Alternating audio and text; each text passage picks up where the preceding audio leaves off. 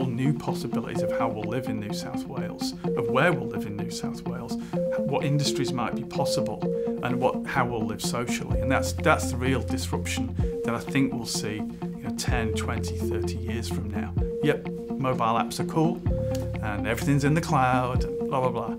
Uh, but essentially, it's these technologies that can disrupt the technologies that transform completely our, our uh, transport experience.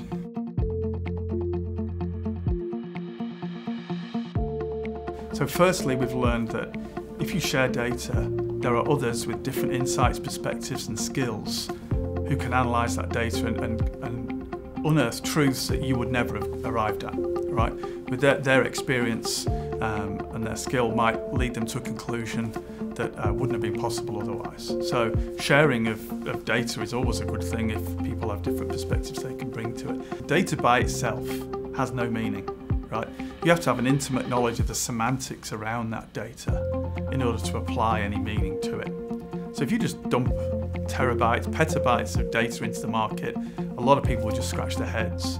Um, so I think a much more interesting phenomenon around open data is how you open that through APIs so that people can consume that data but with some context around it. Transport obviously understand transport data and they can apply all sorts of business rules on top of that that help other people integrate transport into their solutions. So, for example, you've seen how in Sydney there's huge investment in a large light railway programme, right? This is impacting the city in, in, in an amazing way. That is really responding to a shift in inner urban living, Now, if through data sets in the future we can predict how people are shifting and living and moving, how they live their lives across Sydney and across New South Wales, then we can put in place transport solutions that get ahead of those societal shifts.